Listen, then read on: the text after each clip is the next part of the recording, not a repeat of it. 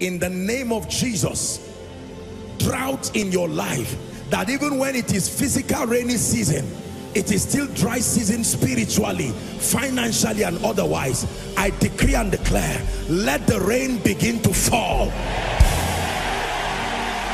Let the rain begin to fall. Let the rain You're welcome to another spirit-filled message on Christocentric message. If you're new to this channel, I would entreat you to hit on that subscribe button and then to like this video. As well, I would want you to share this message across because we believe that as this message is coming forth, it's going to bless you. Oh, graces are going to be imparted unto you and then God is going to visit your home. Thank you for watching. Stay blessed. So for any supernatural manifestation to be called godly, we must see the interplay of the word of God and the ministry of the Holy Spirit. And ultimately, the revelation of the Christ must be established through that manifestation. Are we fine on that?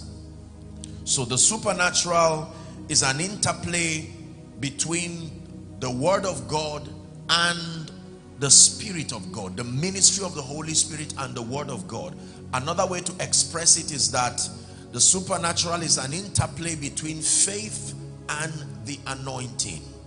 You want to write that down? An interplay between faith and the anointing. This again has been an age-long argument, especially among Pentecostals and charismatics, as to which should be preferred. Should I choose faith or I should choose the anointing? So there are people who respectfully will say, I am a faith person. Mine is faith there are others who say, well, I am an anointing person. Mine is anointing. That dichotomy was never designed to be so from scripture.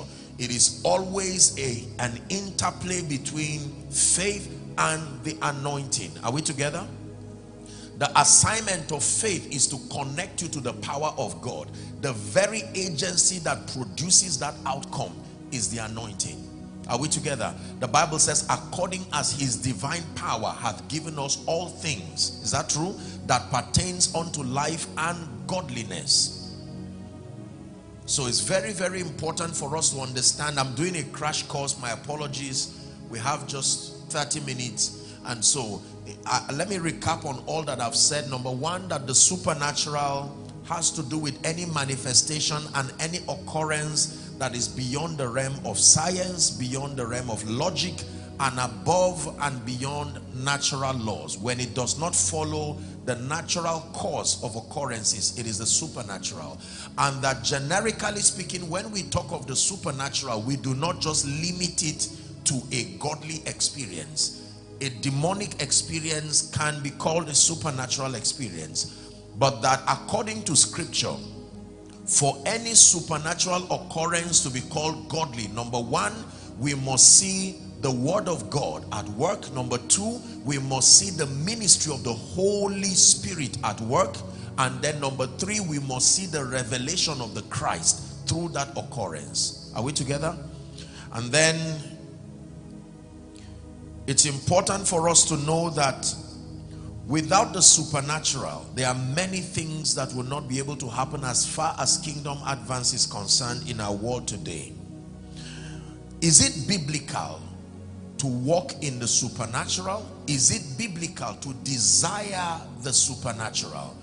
If God has given us access to science, if God has given us access to logic through reasoning, if our world has natural laws, why then do we desire to be able to access realities above and beyond the realm of science. Hallelujah. Is it biblical to walk in the supernatural? I can spend a whole day showing you from Genesis to Revelation different incidences that endorse, promote, and even provoke the supernatural. From Genesis 1 verse 1 down to Revelations 22, every other thing you find there is a manifestation of the supernatural. For instance, Genesis 1 verse 1, the Bible says, in the beginning, God created the heavens and the earth. That is a very supernatural statement because if you probe into that statement, for him to create the heavens and the earth, meaning he was not in any of them. You cannot create something within a system. you have to be outside the system for that creation to happen. So where was he? If he created the heavens and the earth, it means he was not in heaven there, nor the earth. That is already a supernatural statement. Verse 2 says, and then darkness was upon the face of the deep. Is that true? And the Spirit of God hovered round the face of the waters. Another supernatural occurrence. What led to the darkness is a long story that we may not be able to touch now. And then the Bible says there was darkness across the whole earth. Verse 3, another supernatural statement. And God said, let there be light. The Hebrew expression is, and the talking spirit said, light be. Light be. Are we together? And then the Bible says, and there was, and he saw that the light was good. So you read the entire Genesis 1 and it was everything supernatural. Let us make man in our own image and after our likeness and let them have dominion. So is it biblical? How about the immaculate conception as we call it theologically of Jesus Christ? A young virgin is espoused to Joseph preparing for her wedding like any young lady would with joy and peace and she suddenly receives a visitation from an angel with a strange salutation. You find that in Mark chapter 1 by the time you read from verse 28, that is the context, 28, and you find out that there was a very strange salutation. The angel comes to her and is it Mark? Luke. Mark or Luke? Luke. That should be Luke. Please give it to us. I hope I got that right. Luke chapter 1.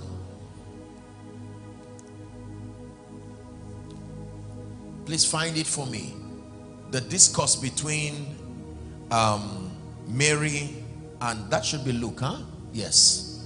The angel came to her and said, Hail Mary, thou that art highly favored, the Lord is with thee. Blessed are you among women. And the Bible says Mary wondered at what salutation this was. And now he began to tell her that she would have a child.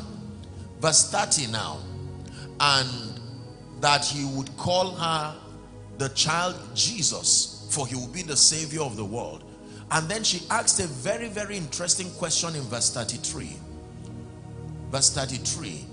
He said, He shall reign over the house of Jacob and of his kingdom. Let's go to 34 now. I'm just rushing. Mary said unto the angel, How shall these things be, seeing that I'm a virgin, seeing that I know not a man? I'm just showing you the supernatural. How will it happen?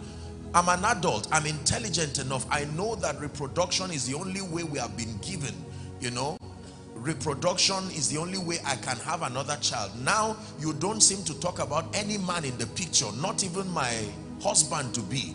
And you are telling me that I'm going to have a child. How will it be? The answer was in verse 35. It says, the power of the highest, the Holy Ghost shall come upon you and the power of the highest shall overshadow you. Therefore also that holy thing which shall be born of thee shall be called the Son of God. So we see scattered across the scripture the supernatural. And Mary said, Be it unto me according to your word. She became pregnant instantly. Instantly. That was the moment of conception. The moment she agreed, that was it. Are we together? When Jesus arrived, his arrival was very strange and the many occurrences around his life very strange. When he began his ministry, he made reference according to Luke chapter 4 when you read from verse 15 the Bible says he entered the temple and the scroll of Isaiah was given to him to read. And he began to read making reference to Isaiah 61 the messianic prophecy that the spirit of the Lord is upon me he said because he had anointed me to preach glad tidings to the meek. He had sent me to bind up the brokenhearted to set the captives free and so on and so forth. And then he told them this scripture is today fulfilled in your ears. And in one of the synoptic accounts the bible says there was a man with a withered hand and he looked at that man and said to announce my messiahship stretch forth your hand. And immediately that man was healed. Are we together? Yes When you read Mark chapter 1, beginning say from verse 33 thereabout, the Bible says when the evening was come, they gathered to him all kinds of people, people who were sick, people who had all kinds of bodily infirmities, and the whole city was gathered about the door. Then the Bible says he began to heal many and to deliver those who had palsies and all kinds of sicknesses. And you read down to verse 37 of Mark chapter 1. People began to pursue him, and the testament there was that all men seek for you because of the presence of the supernatural. Nobody will look for you until they believe that you have supernatural solutions that can solve their problems. Are we together? Very important.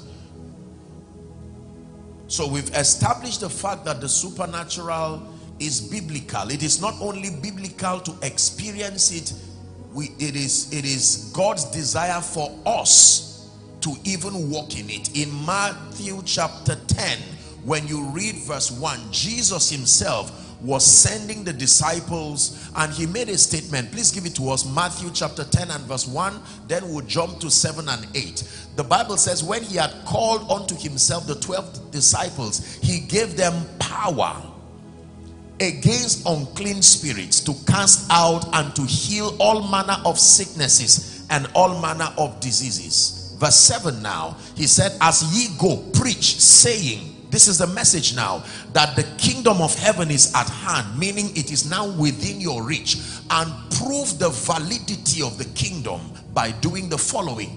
Heal the sick cleanse the lepers raise the dead cast out devils. Freely you have received he said freely give in John chapter 4 and verse 48 please give it to us. John 4 48 Jesus had something very interesting to say. He said except you see signs and wonders he was speaking he said ye shall not believe. Except not just except you hear the message except you see the manifestation of the supernatural. Hallelujah in John chapter 20 and verse 30, John 20 and verse 30, John was recording his version of the gospel and hear what John had to say. And many other signs truly did Jesus in the presence of the disciples, which are not written in this book. That means the miracles of Jesus that you see is not all that he did. There were many, many more. Is that true? Verse 31, he said, but these are written that ye might believe that Jesus is the Christ, the Son of God, and that in believing you might have life through his name. Are we still together? Very, very important. Let's go to Acts chapter 8. Acts chapter 8, we'll read from verse 5 to 8. Let me quote while they find it. The Bible says Philip went down to Samaria and preached Christ unto the people. Very interesting now. Philip went to preach Christ unto the people in Samaria. And the Bible says the people were in one accord. They listened very closely. The Bible says hearing and seeing the miracles that he did. He did not just go and preach an empty message. He preached Christ and the people gave heed with one accord, hearing and seeing the miracles which he did. What were the miracles? Verse 7, he said, for unclean spirits crying with a loud voice came out of many that were possessed with them and many that were taken with palsies that were lame were healed. As a result, verse 8, there was great joy in that city. Great joy in that city. Now, let me give you one scripture that should be a seal as far as the validity of the supernatural is concerned. Romans chapter 15 and verse 19. This is Paul himself speaking. I found this scripture many years ago and it, it just solidified my sincere pursuit for the supernatural. Can we read it together?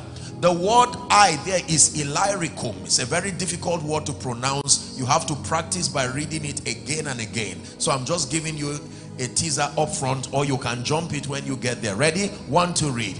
Through mighty signs and wonders by the power of the Spirit of God so that from Jerusalem and round about Illyricum I have fully preached the gospel that means the gospel is not complete until there is a dimension of signs and wonders. it says through mighty signs and wonders. From Jerusalem to Illyricum every time I traveled it was not just to communicate an empty message. Hallelujah. Many have not fully preached the gospel because it's been a gospel that has been bankrupt of the manifestation of the supernatural. Hallelujah. It's very very important. The early church in fact the coming of the Holy Ghost when you read Acts chapter 2 and verse 1 the Bible says now when the day of Pentecost was fully come that they were gathered together in one accord suddenly there was a sound from heaven just like it happened in Ezekiel 37 and the Bible says that the Holy Spirit came filled the room and they saw cloven tongues as of fire. It came and rested upon every single one of them. They were filled with the Holy Ghost and they began to speak with other tongues as the Spirit gave them utterance. And the people on the day of Pentecost gathered and said, don't mind these people, they are drunk with new wine. And Peter got up to preach the first sermon and he said, no, we are not drunk. This is but the morning hour. He said, but this is that. He began to make reference to Prophet Joel. He began to make reference to David. And he said, let it be known to you that the same Jesus whom you have crucified has today been exalted as Lord and Christ. The Bible says when they heard him preach under the influence of the Spirit, they were caught to their heart. And they said, men and brethren, what shall we do? Peter replies and says, repent for the remission of your sins and then you shall receive this promise. For the promise is unto you and to your children, to your children's children, as many as are far off. By the agency of the supernatural, 3,000 people were saved in one day. Is someone learning? So, for many of us, we have reduced the supernatural to just falling down and shouting. And so, once you are not in the fivefold ministry or you perceive that you are not into this Pentecostal thing, we just close our hearts to the supernatural solutions. I hope you know that ministry is also dispensing value. It's just that your value is spiritual in context. The world is too busy and too contemporary for people to come and invest their time and attention when there is no guarantee that they will be blessed. So there are many well-meaning people, pastors, evangelists, apostles, even. There are many sincere people in ministry who have ignored the supernatural. And then there are others who, in a bid to pursue the supernatural, they have veered off the scriptural pathway. Listen carefully. I think this is where the bigger error is in the body of christ now because a few people are forcefully coming into an appreciation that listen if i do not have the supernatural at work in my life especially in ministry chances are excellent that i may just be talking to empty pews chances are excellent that I may not be able to thrive in ministry. So in the blind pursuit for the supernatural, many have not followed divine patterns and have now begun to dabble themselves into extra biblical practices, all in a bid for power. You have all shades of all shades of extra biblical practices today unfortunately happening in the body of Christ. Desperation for power. People have gone to places done things offered sacrifices fraternized with demon spirits all because of the desperation to sustain the power to heal the prophetic power, the ability to be able to minister to people. Let me recall once again what I told you when I started teaching that the moment the word of God is out of that equation, the moment the ministry of the Holy Spirit is not honored, and the moment Christ is not revealed through that process, it is diabolic, it is witchcraft, it is not of Christ the necessary and sufficient condition for any spiritual occurrence to be called godly we have to vet from the authority of scripture. Number one we must see the supremacy of the word the word of god gaining supremacy. There number two we must see honor to the ministry of the holy spirit. I told you the holy spirit is not the only spirit that sponsors the supernatural. When Moses threw his rod by the spirit and it became a serpent Pharaoh summoned for Jannes and Jambres and by divination they threw their rods too and it also became a serpent. It is true that all power belongs to God. The Bible already says it without argument. He said once have I spoken and twice have you heard that all power belongs to God. But you see the dynamics of accessing power in the spirit is such that any spirit has an advantage to be able to access a measure of power. Any spirit including a human spirit. The moment you are a spirit there is a privilege given to you to access certain dimensions of power. But the highest level of spiritual power according to scripture resides within the office of the Holy Spirit. He is called the power of the highest not the lowest. The power of the highest. Are we together? Yes. By the determination of a human spirit you can tap into realms beyond the natural realm. This is why many religions they train you. You can use your mind you can use your human will and access all kinds of things. You see it practiced in many religions by by the the, the dexterity of your meditation, you can create fire, you can create all kinds of possibilities. Once you are a spirit, there are dimensions of power that you can tap. When you fraternize with demon spirits, like it happens with herbalists and all of those kinds of people, you can now access certain levels of power. But let me tell you, authentic power that glorifies Jesus only comes as a product, listen carefully, the power of the believer is a product of relationship. You see, when you go to a herbalist, you don't need to know his name. He doesn't need to know your name. You don't need to know his tribe. A relationship is not necessary. All you need to go is get there and say, Baba, I'm in trouble. What are you looking for? I need money or I need a political office. Are you ready for the sacrifice? Yes. Which child are you going to bring or which chicken or which cow? Okay, I have it here. Keep my own honorarium for me here and you drop everything and you can leave that place not even knowing the name of the man not even knowing where you went to. You just know that you entered a forest that looked like you were entering the valley of the shadow of death and then suddenly you appeared in a man's shrine. Because when it has to do with demonical operations relationship is not required. But when you come to the faith life the first thing God demands is follow me then I will make you. You don't follow it you follow me are we together? So it is intimacy with the Holy Spirit. The first thing you receive, you receive power after that the Holy Ghost is come. So the Holy Ghost comes first in your walking with him, in his building you. Among the many things that begin to be formed in your life through intimacy and the pursuit of the Spirit is power. Many believers do not want to go through the labor of intimacy with the Holy Spirit. And so we have routed all kinds of strategies to quickly get power in isolation to the Spirit. You stand a risk every time you take the Holy Ghost out of your entire power equation. Any spirit can carry the similitude of the Holy Spirit there are many people today who have dabbled into activities of witchcraft not because they were bad people.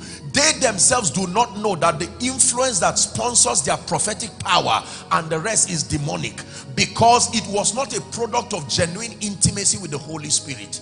I do not trust the dispensing of power from your life till I see your honor to the word of God and your press for the Holy Spirit if I do not find these things at work in your life, I have a right from scripture to suspect the authenticity of what comes out from you.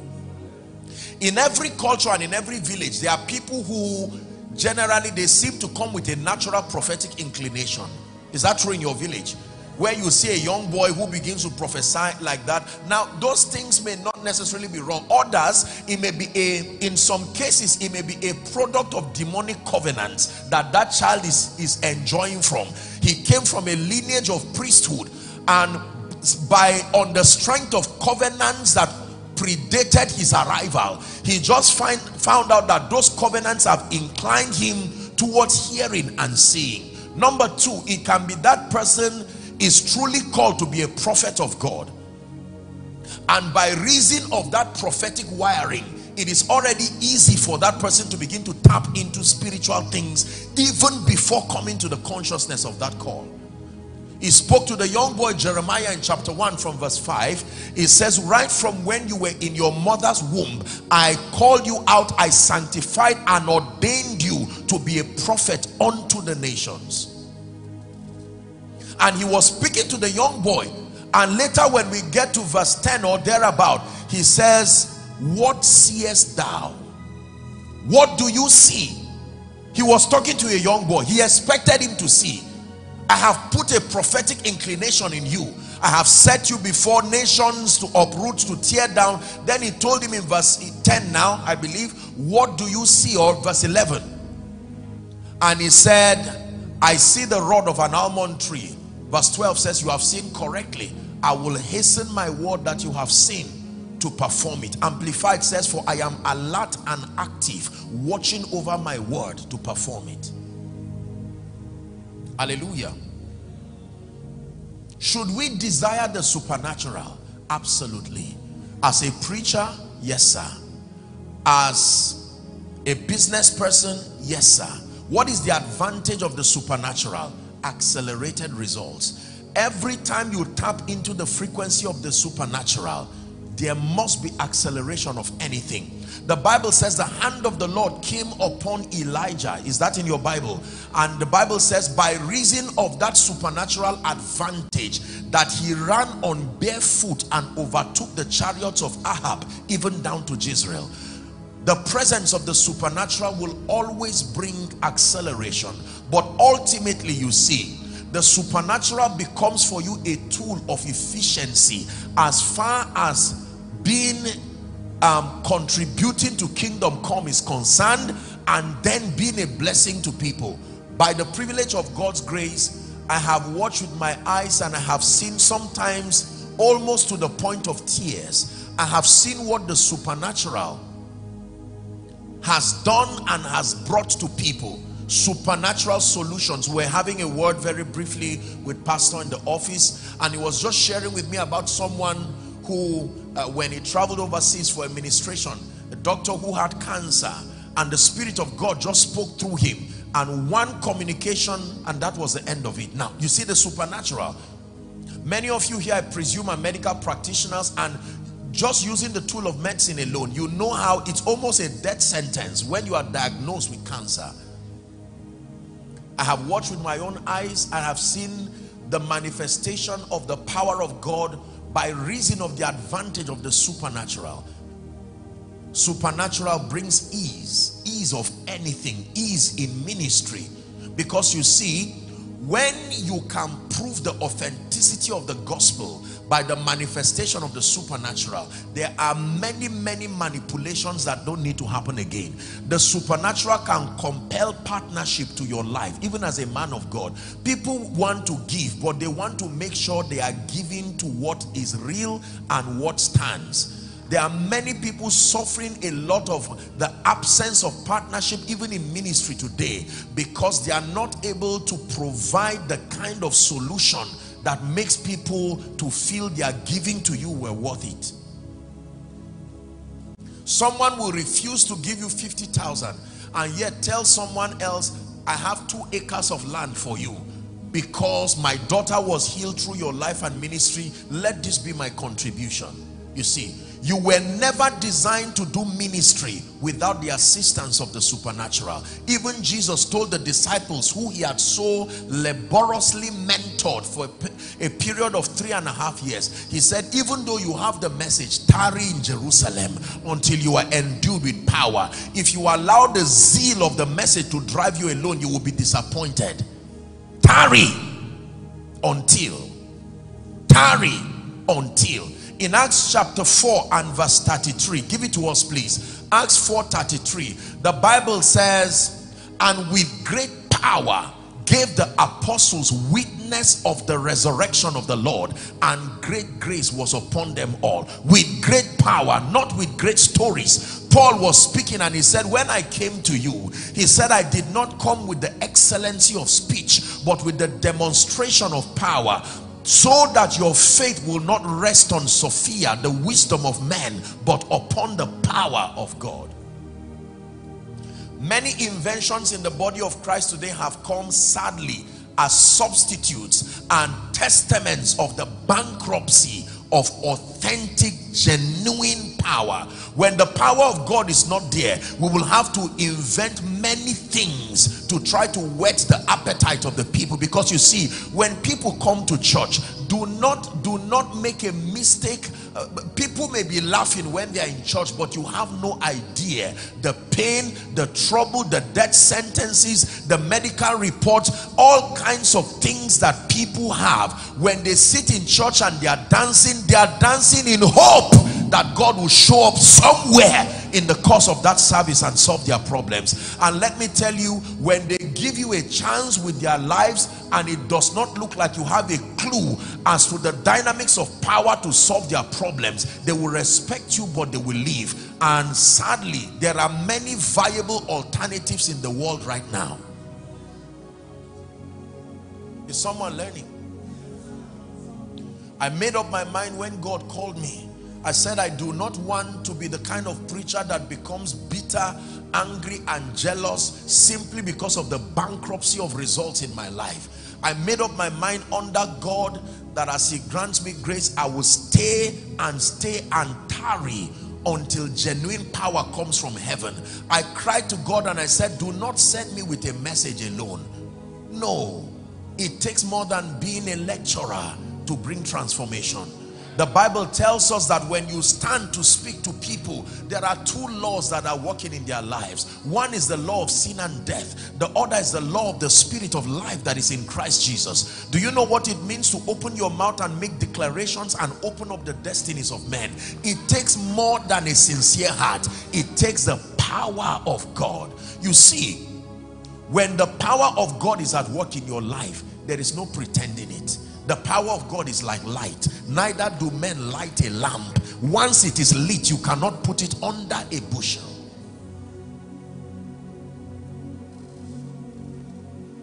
I have traveled from nation to nation. I have traveled from region to region.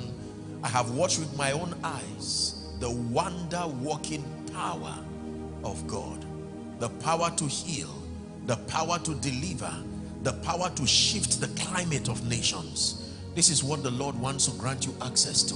Please hear me. You are a man of God and you came here, you have been laboring and crying. Let me honestly admit to you why ministry is not working. I know you still need to learn a little of administration.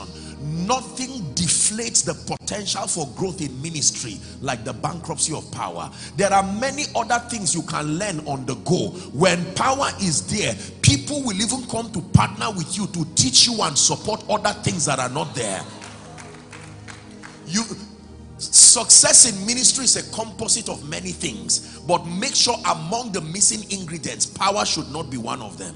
Mm -mm. maybe you don't have a proper understanding of administration as far as a contemporary society is concerned. Once you are a humble man of God and power is present people will come and supplement for that weakness. But no matter what else you have if there is no power sooner or later you will find out that even if you buy a new fridge and it's not connected it is still dead. You can buy a new fridge or a new television celebrate the newness but don't connect it. People will sit down at the cinema and be wondering. Sooner they will tell you i am tired of this new thing. I know you bought it from an original lg shop but i need to watch it. I need it to cool my water. You claim that your fridge is new. You claim it was white. The aesthetics the, everything is beautiful but it is not solving the problem. Jesus saw a fig tree the problem was not the leaves. It had the beauty and the excellence but the fruit that will bless the people it did not have it. And jesus cursed it. You are deceiving people. You are wasting time. By the flamboyancy of excellence you attract people. But when they come there is no substance. Listen to me. I am a product of power. I believe in the power of the holy spirit the Bible says in Psalm 66 and verse 3, It says, Say unto God, How terrible art thou in thy ways. It says, Through the greatness of thy power shall thy enemies submit themselves. Not through the greatness of your discussion. You want to command an exodus for the people of God. Ladies and gentlemen, it will take more than English, believe me. It will take more than administrative prowess. It will take more than oratory and theological accuracy. Those things are wonderful. But when all is said and done, there are spirits that hold the destinies of men. There are causes that tie the destinies of men. Paul said, I desire to come to you. Even I, Paul, once and again. He said, but Satan hindered us. I have met wonderful people when when a woman comes to meet you and says, I am healthy they check me, my womb is healthy, everything is fine, but I cannot have a child. She does not need counseling. What kind of counseling are you going to give that kind of person? I am healthy. In fact, I am a medical practitioner myself. When a man comes to tell you, I refuse bribery, I have been a diligent person, but every time my project is about to scale through. I go to sleep in the night and a stranger walks up to me and said the same way i crushed your father i will do same. And he gets up in the morning and the destiny helper who should help him says i i can't remember i can't remember inviting you to my office. Walk away. You think that person is looking for a discussion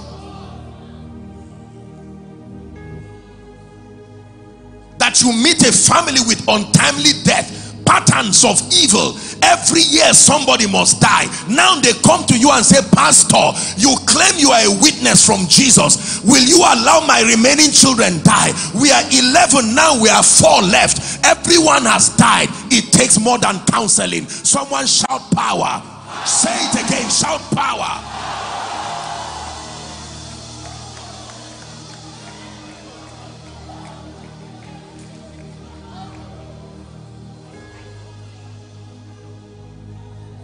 Listen, I come from a region where it is not easy and natural to rise from your lowly estate to a global standpoint. No, there are territorial horns that sit upon the destinies of men they define the boundary of your growth. Once you cross a particular threshold they say thus far have you come. Some of you are like that and you are taking your life casual. You are watching that you are not rising. Even those who have gone ahead of you they went up and came down. Say unto god how terrible art thou in your ways. It says through the greatness of thy power.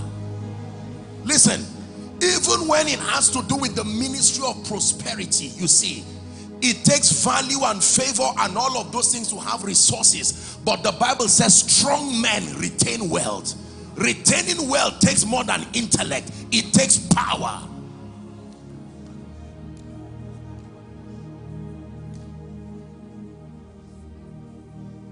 Do you believe what you're hearing?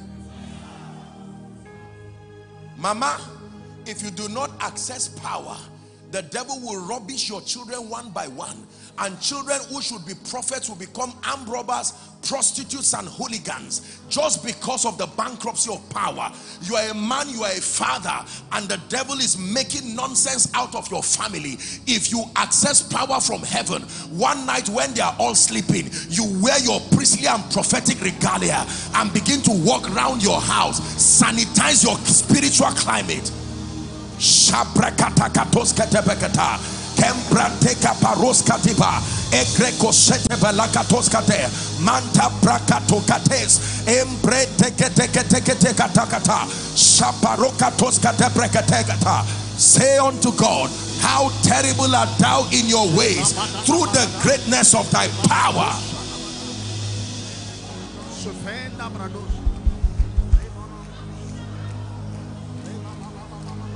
hallelujah listen to me the Bible talks about Jesus, the Son of the living God. Number one, Jesus was and is the Word.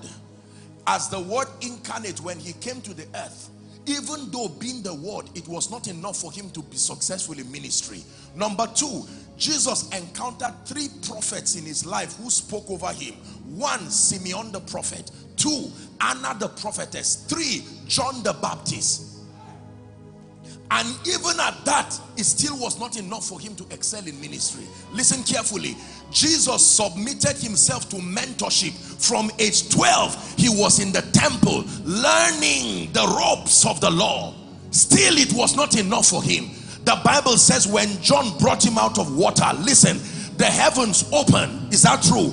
And the Spirit descended upon him. Still, it was not enough for him to do ministry he went to the wilderness to be tempted of the devil and your bible says he returned in the power of the spirit the power of the spirit when he returned in the power of the spirit many signs in one day his fame spread abroad let me tell you ladies and gentlemen hear me. You do not compel the attention of a generation by telling them stories. They have heard many of the things you are saying. The factor that compels is the power of God. He said for where the carcasses are there the eagles will gather. It is not the location of your church. I don't believe that. It is not the state you are located in. I don't believe that is that there is no fire enough there is no power enough genuine apostolic and prophetic power it will draw men from the length and the breadth of the globe to come and see what God is doing. Listen to me. For more than a decade, with all due respect, I was in Zaria. For many of you who know Zaria, that, that is that is that is the center of Islamic activities. And people were coming from around the world, even with kidnapping they will still endure from Lagos, fly to Abuja, take a golf and inconvenience themselves. If they will kidnap me, let them kidnap me, but let me get there. Not the best of hotel facilities. When people see genuine power, they will endure anything I know you don't have AC yet. I know you don't have this yet. I know your sound system is not the best yet. People will forgive you a thousand times if they can have the consolation of power.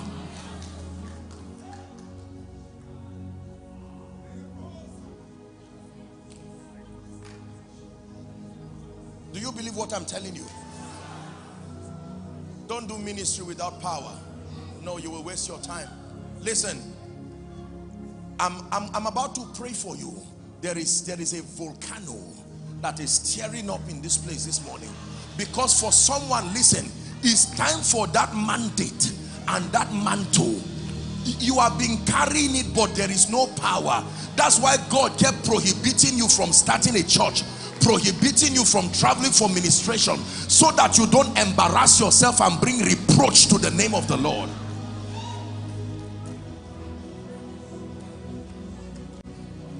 Now hear me. When I started ministry, when God called me, I started seeing a measure of the power of God in my life. But I cried to God, I said, Lord, this is not enough. With the assignment you have shown me, there needs to be a display of your power to the nations. You are confronting people who are already familiar with spiritual activities. Some of them are herbalists themselves. Some of them are diviners themselves. Some of them are, it is not new. And I said, Lord, you must grant me access to this power.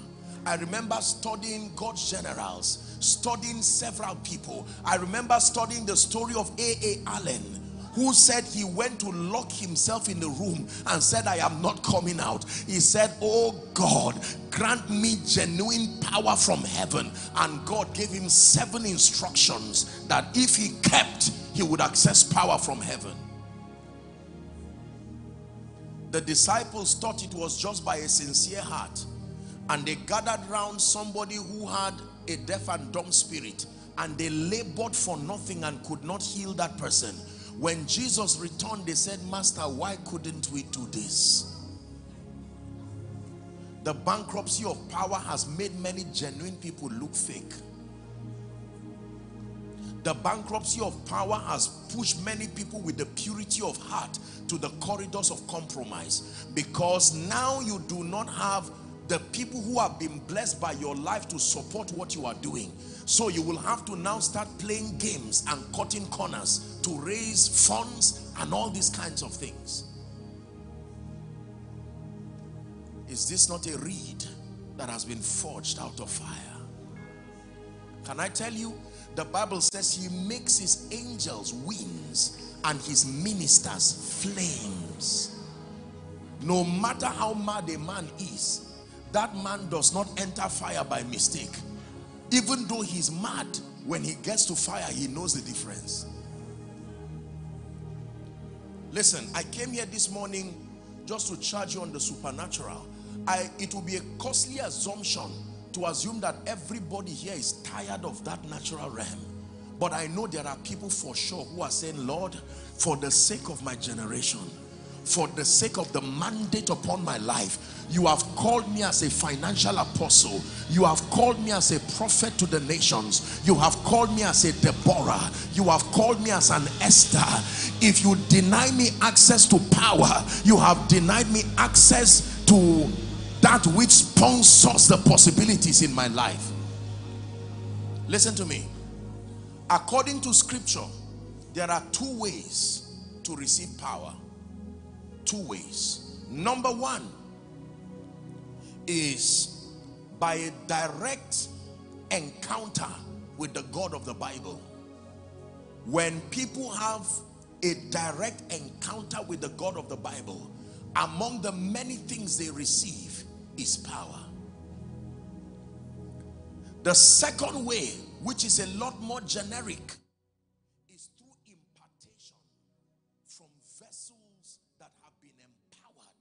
by God.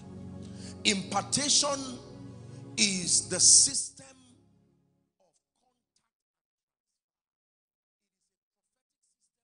built within the economy of the body for spiritual possibilities to be transferred from person to person. He said, the, how did he put it now? The Lord sent a word to Jacob and it lightened upon Israel. Apostle Paul was speaking to the church in Philippi and he said, ye all are partakers of my grace. When a man has been so endowed by the Spirit, within the leadership, the boundary of the leadership of the Spirit, you are at liberty to allow from that which you have received to flow freely to those who genuinely desire to receive. Even though there are rules of reception, Number one, you must believe in the God that empowered that person.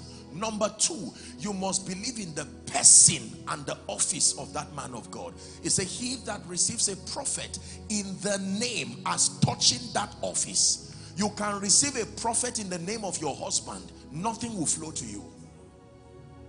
That's what the man of God was sharing here. He said when he's in church, help them please. When you are in church, he told his wife, he said, I am your pastor. When we get home, you are in charge. That is family life.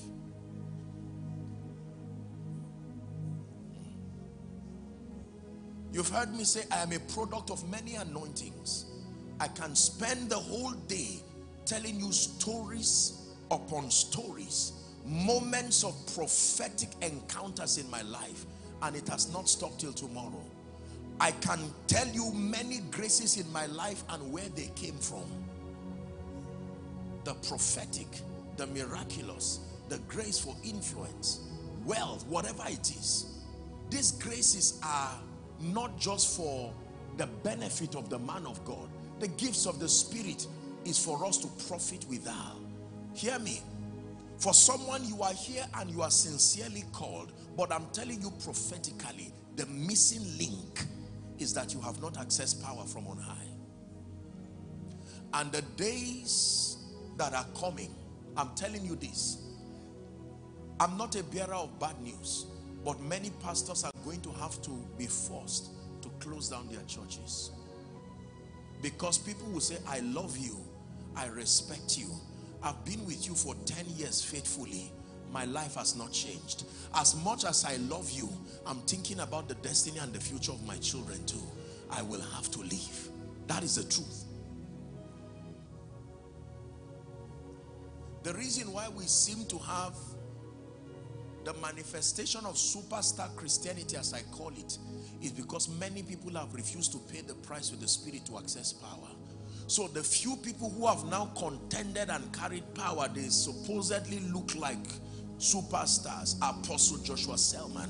It is God's desire that as many, did he not say for that promise is unto you and to your children.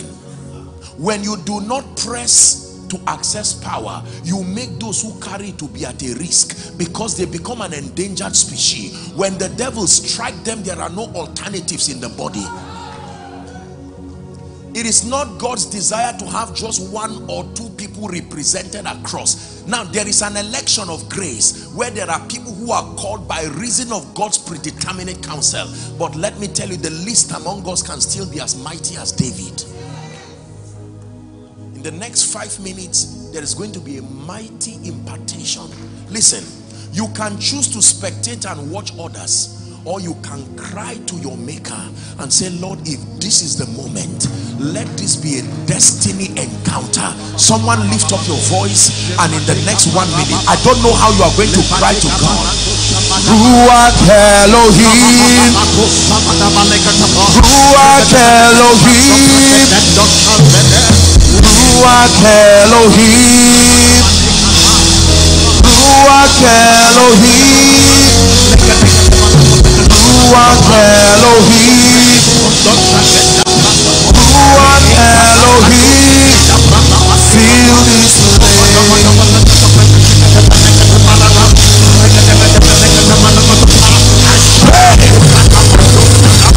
Ruach Elohim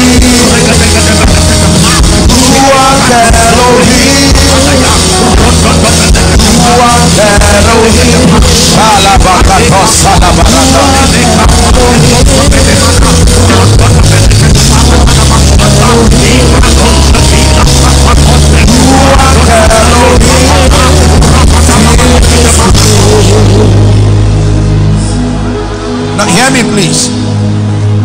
Listen to me. I must tell you this before we begin this impartation. Whether you're on the ground, whether you're kneeling, just listen. Hear me. Can I tell you the purity of heart and the desire to glorify Jesus is the biggest attractor of the power of God. The purity of heart and the desire to glorify Jesus not a desire for fame. Not a desire for competition. Let me have it too so I can prophesy like the rest. Let me have it too so no one will mock me. The agenda of God is bigger than self-aggrandizement the purity of heart I repeat and the desire to see Jesus glorified. He said nevertheless the foundation of the Lord standeth sure having this seal the Lord knoweth them that are his and let every man that name the name of Christ depart from iniquity.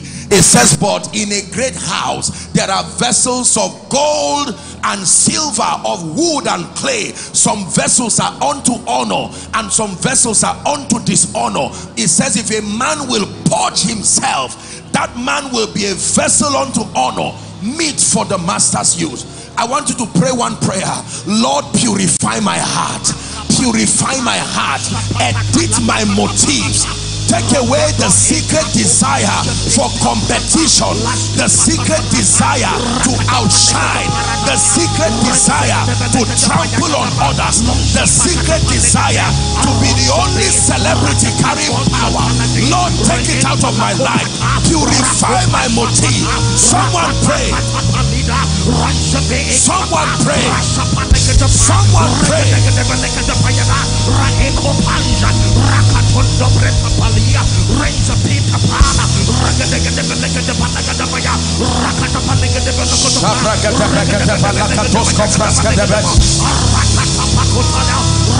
Hallelujah.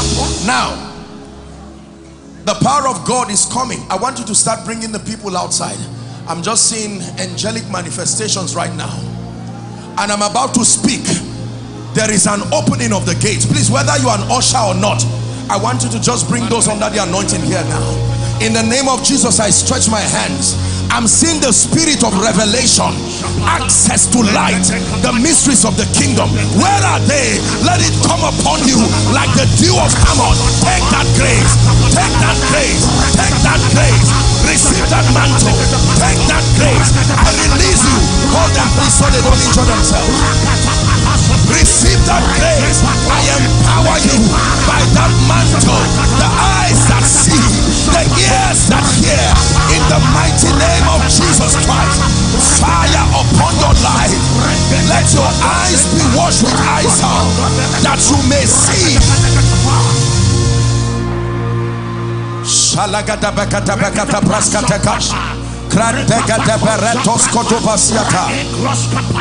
Now I'm praying Please, I want you to listen. Bring them out. There are people here.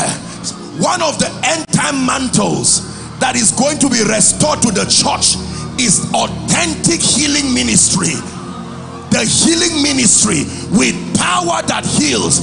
And I sense that there are people here. Some of you have been praying and fasting. Please bring them out. I stretch my hands. That mantle to heal. Take the healing power of Jesus to the nations. Receive it now. Receive it now. Receive it now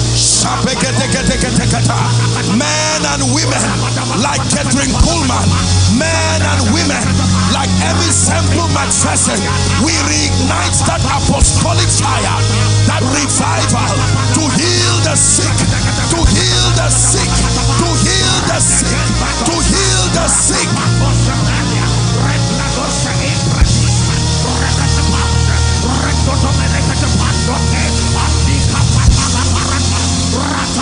Alagada bakata brakata katos kata barakatos. Kafrakata barada kata brakata kata balakatos. Randa kata braskata bakata brakatos. Ekrakata barada kata fraskata bakata. Makata braskata barato koto brakata. Kena braskata brada kata barakatos. Embrakata barakotos koto brakata kata. Shalaga brada kata balakata katos. Embrakata brakata brakata kata. Rakata braskata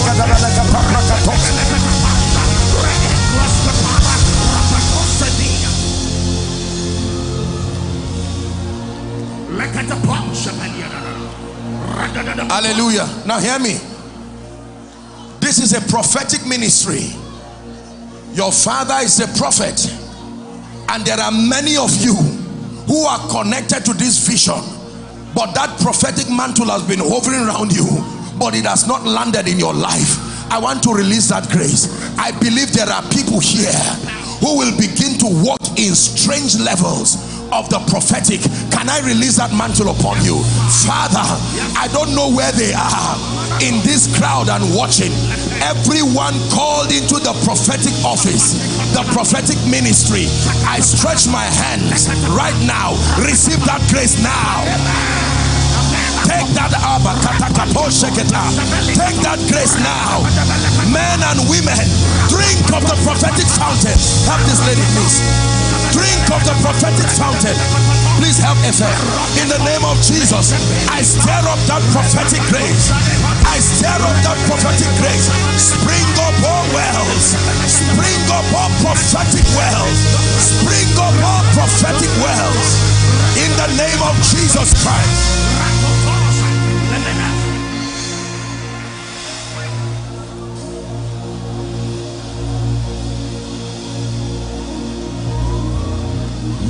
Is like him? Lion and the Lamb, seated on the throne.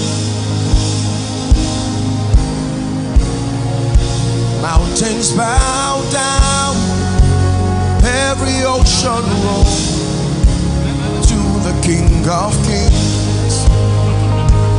We will praise, adore.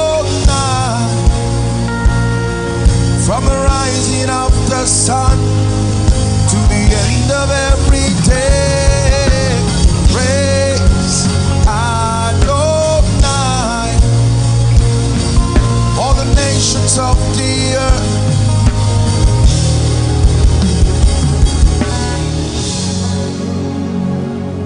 Is there a name like Diolu?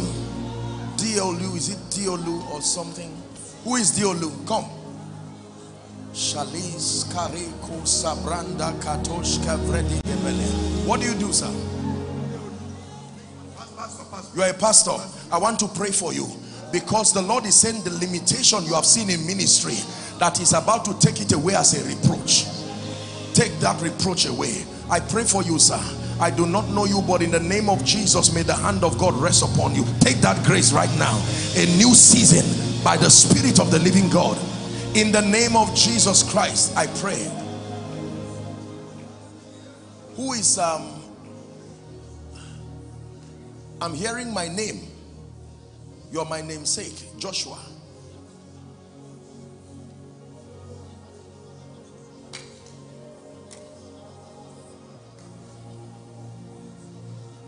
please make sure you don't run let's we have just a few minutes I'm, I'm working on extra time so make sure you don't tell lies just come and stand here you will receive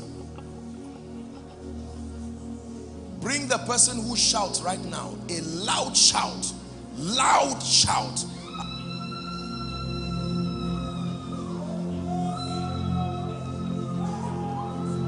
you are Joshua I want to pray for you what is your name my friend help this boy huh What's his name? This gentleman. Your name is Joshua. Help this guy. I declare that the yoke of witchcraft and I'm, as I'm praying for him, I'm praying for someone. Everything that has tied your life and limited you from advancing. Every altar, I don't know who I'm speaking to, but I'm seeing fire. Help this guy. Please help him so he doesn't injure people. I decree and declare right now in the name of Jesus be delivered now delivered now be delivered now be delivered now I set those altars on fire I set help this guy I set those altars on fire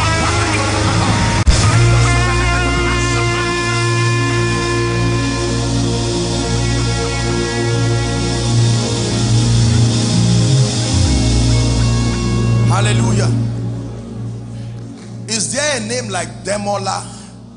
Demola. You are wearing white. Demola. Is there someone like that? Demola. Who is that? What is your name? What do you do? I want to pray for you. Um, you, are, you are destined for greatness, but I'm seeing a serious limitation on your life. In the name of Jesus, I decree and declare, be delivered right now be delivered right now. Be delivered right now. Help him. Be delivered right now. There is a gentleman here. You do Uber. Is it Uber or Bolt? Who is that person? I'm seeing somebody driving a car and the Lord is saying I should pray for the person because there is an anointing that is coming. You do uh, this, um, or what they call it now. Is there a gentleman like that? Who is that? That's what you do? No, no, no. I'm, Please make sure, is, is that what you do? Because one of you, I'm seeing that you are going into real estate. God is going to bring somebody. It will start just by helping you. Somebody is saying, sell something. And yet that's how God will help you and establish you your destiny. I stretch my hands. May the grace that lifts and help men rise. May that anointing come upon you. In the name of Jesus Christ. You will go and prosper by the power of the Holy Spirit.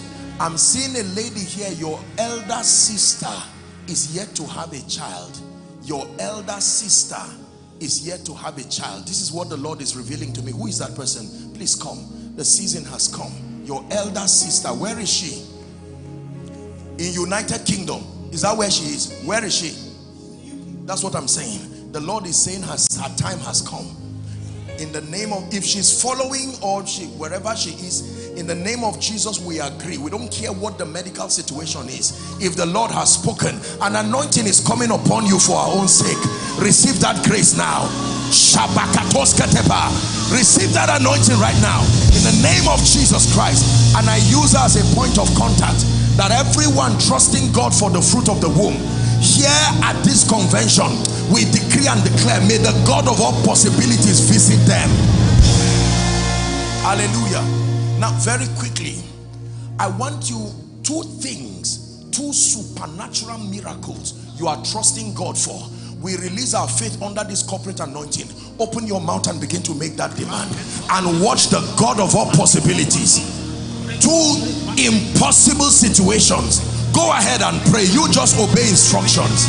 In the name of Jesus Christ someone is praying what is that that has mocked God in your life? You're trusting God to overturn. Is it a financial situation a marital situation an academic situation a health situation? We stand by the privilege of priesthood and the prophetic releasing our faith with you that petition unto God. He said what things soever ye desire when ye pray believe that thou receivest it and thou shalt have it. He says to be anxious for nothing but that in everything by prayer and supplication with thanksgiving he said let your request be made known unto God. Pray. Ask the God of all possibilities visit me in this area. Change my story in this area. Wipe my tears. Give me a testimony in the name of Jesus. Give me a testimony. Visit my father. Visit my mother. Visit my wife my husband my children. Visit my family. Visit my ministry my business. Pray. One more minute. You are praying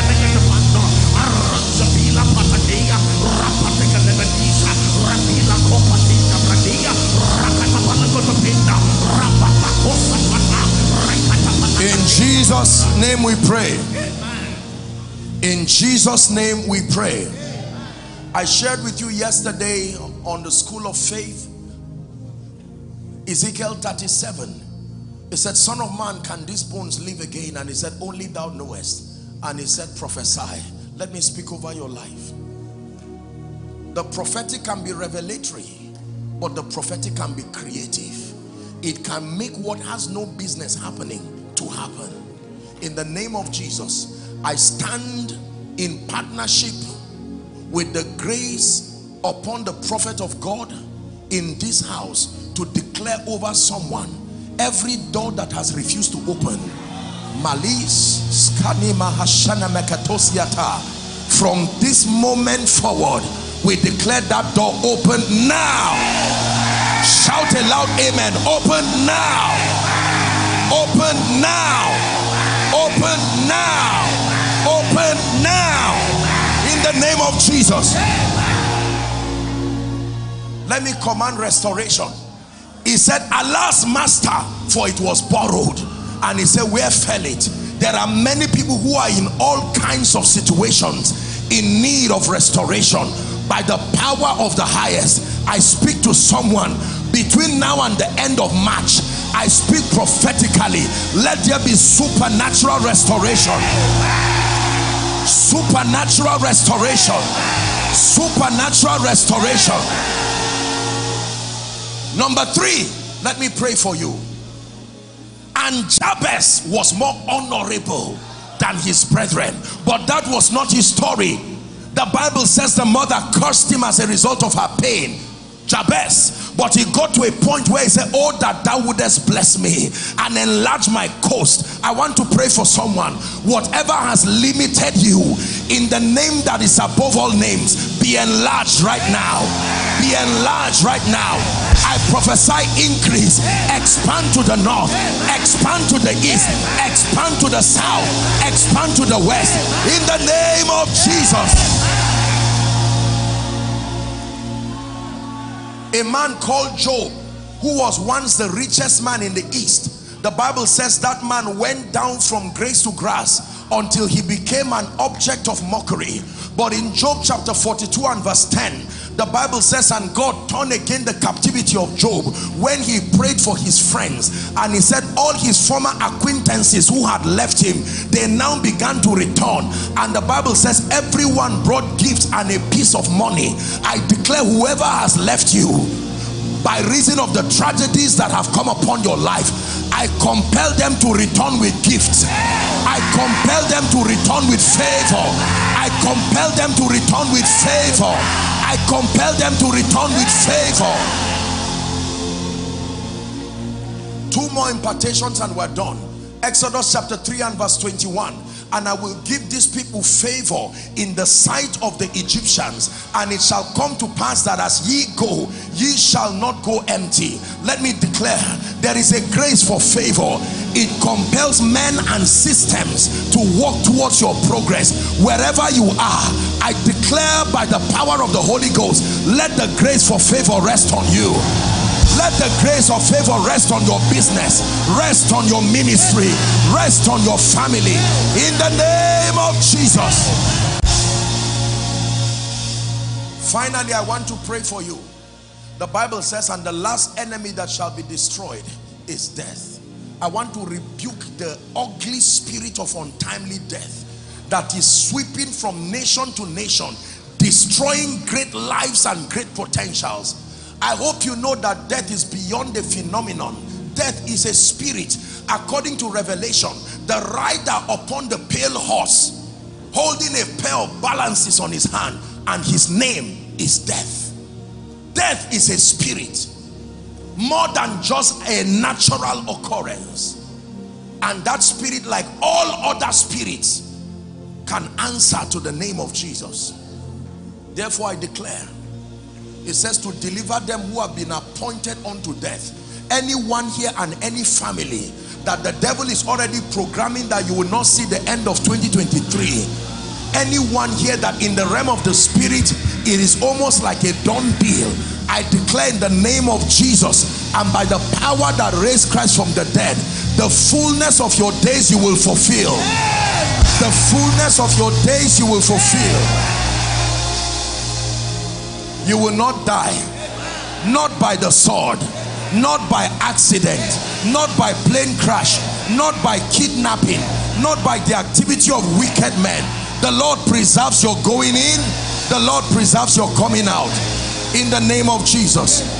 My final charge to you ladies and gentlemen before I leave is that your relationship with the Lord Jesus Christ must remain intact in spite of the Bible says if our hope is only in this life, it says we are of all men most miserable. Listen very carefully, spare me a few seconds. It matters to Jesus and it matters to your destiny that your ways are right with God. It's a costly assumption to assume that out of the crowd of people here, there might be one or two persons or everybody is saved. I believe that in every meeting and in every gathering, you would always find people in need of Jesus or in need of rededication and restoration.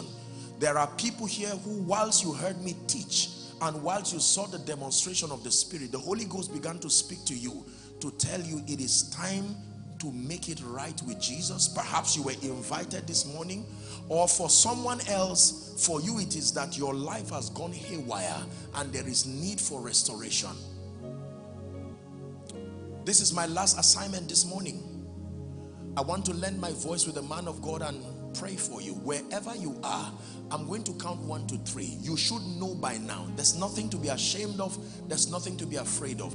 This is a very holy spiritual atmosphere that you should not waste. Apostle, I truly want to make it right with Jesus. No pretense. I count one to three. Leave your seat and come and stand here. One. Let's celebrate them as they come. You don't have to kneel. Just stand for space. Two.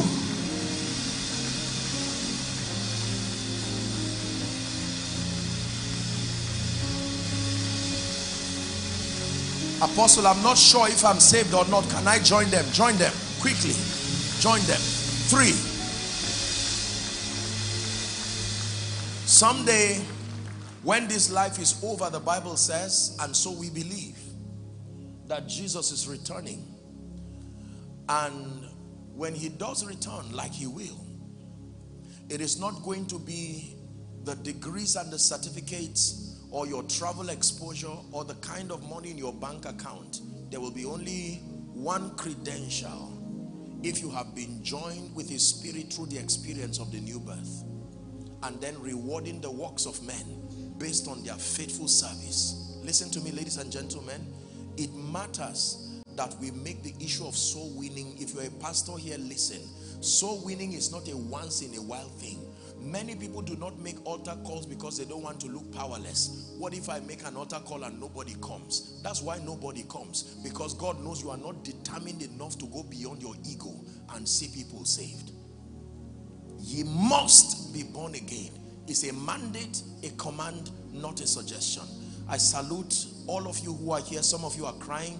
There's nothing to be ashamed of. And for someone who is following online from any nation you might be connecting from, or maybe you are watching by way of rebroadcast, it is never too late to make it right with Jesus. Never too late.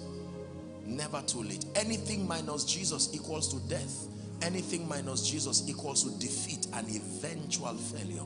So I celebrate all of you for making this noble decision. May I please request that you lift your right hand above your head as a sign of surrender and say this after me. Mean it from the depth of your heart. Say, Lord Jesus, I have heard your voice.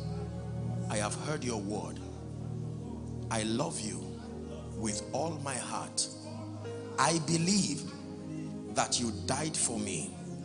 I believe that you rose again for my justification.